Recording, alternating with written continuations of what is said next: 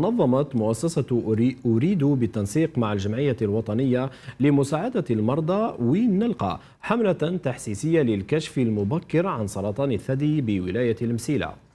المبادرة التي احتضنتها بلدية ولاد سيدي إبراهيم جاءت تماشيا مع التزام المؤسسة بدورها الاجتماعي وبمناسبة الشهر الوردي. سفيان قوادري رصد التالي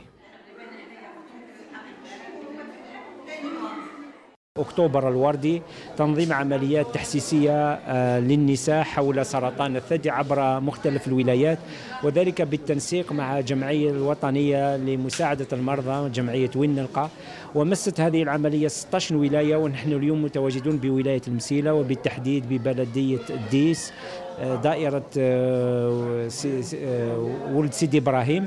وأرتأينا نختار هذه المناطق لأنها هي مناطق بعيدة عن المدن الكبرى ففيه عملية إذا تحسيسية من قبل أطباء المصلحة الاستشفائية الجوارية للمنطقة وكذلك أطباء من جمعية وين فيه فحص طبي للنساء وكذلك في عملية تحسيسية كذلك. نذكر فقط أنه هذا اليوم التحسيسي هو يوم من بين أكثر من 150 يوم تحسيسي مسطر على أكثر من 14 إلى 16 ولاية في شهر أكتوبر.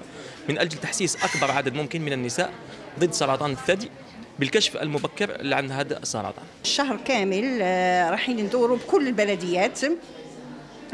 نقوم فيها بعملية الكشف المبكر عن سرطان الثدي وكذلك الكشف المبكر عن سرطان عنق الرحم. كشف مبكر آه، تجرأت وتشجعت اكتشفت باللي عندي فعلا المرض. والحمد لله باكتشاف المبكر عاوني إني نعالج ووصلت للشفاء تام. بإذن ربي